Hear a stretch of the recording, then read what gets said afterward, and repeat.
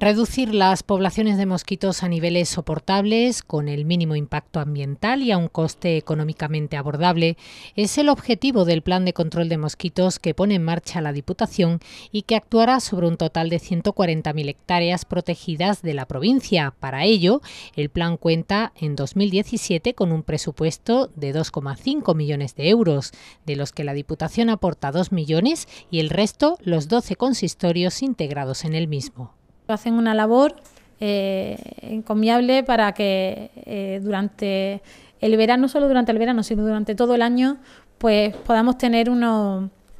eh, niveles de mosquitos soportables para, para el ser humano y adaptarnos a las condiciones. En todo este espacio aparecen dos medios claramente diferenciados. Por una parte, 16.000 hectáreas de marisma mareal, donde el flujo y reflujo de las mareas, en conjunción con factores topográficos y biológicos, dan lugar a 4.600 hectáreas de la misma, susceptibles de albergar poblaciones larvarias de mosquitos y donde se producen 17 ciclos anuales de mareas y por otra 114.000 hectáreas de medio urbano y rural donde se encuentran 25 núcleos de población. Además de presentar el plan a los ayuntamientos que forman parte del mismo, la diputada también ha recordado que al sector hostelero se le presentó hace unos días una guía de buenas prácticas para la prevención de focos de mosquitos en las instalaciones hoteleras.